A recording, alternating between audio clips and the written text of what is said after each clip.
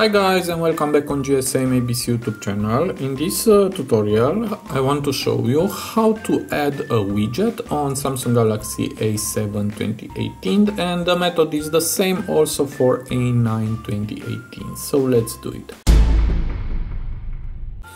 So if you don't have any widget on uh, your startup uh, screen on your phone, it is very easy to add one. Just push it long on uh, this screen and uh, here we have widgets. Just push on that.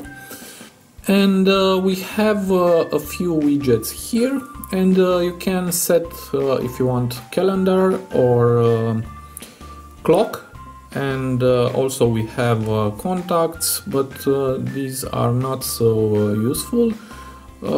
We have Samsung Health, Samsung Notes and uh, my favorite is uh, weather and uh, I will tell you why this is my favorite.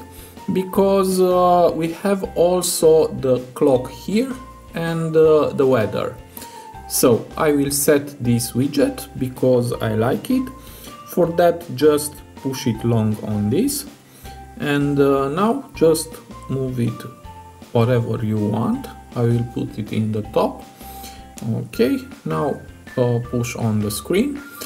Here is the clock and uh, the date and uh, to add the weather just hit here and uh, hit OK to use your current uh, location. Okay, and now just exit.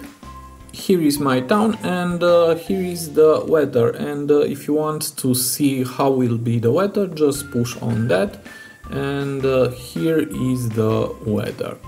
So it is very easy to set up a widget. I hope this tutorial to be useful for you and uh, see you to the next. Have a nice day.